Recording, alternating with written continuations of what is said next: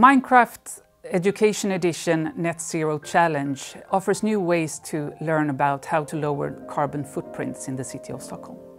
This challenge has offered an opportunity for the students to make their voices heard and to influence the city of Stockholm by submitting their builds. I think it's a very good opportunity to uh, change your future pretty much uh, with um, less carbon dioxide uh, emission and um, a more sustainable world.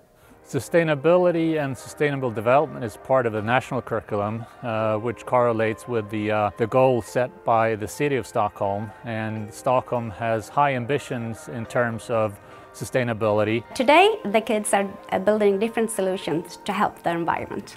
Well, right now, we in our group, we're working on uh, making cars that can transfer carbon dioxide to uh, oxygen to make the cars run.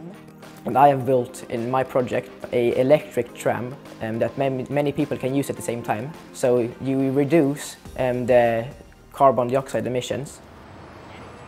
The idea of our group is a tree house in the middle of the city that absorbs the carbon dioxide so this get better air in the environment. I learned that you must take care of your city. Over the past month, 30 plus schools has been engaged in this challenge.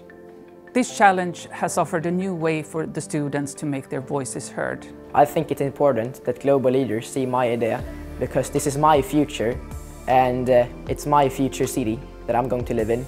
Um, I'm going to raise my kids in the city and I need them to feel safe. I like that the leaders got to see my ideas and what I think of the environment and climate. We need to be where young people are and today they are in the gaming world with Minecraft.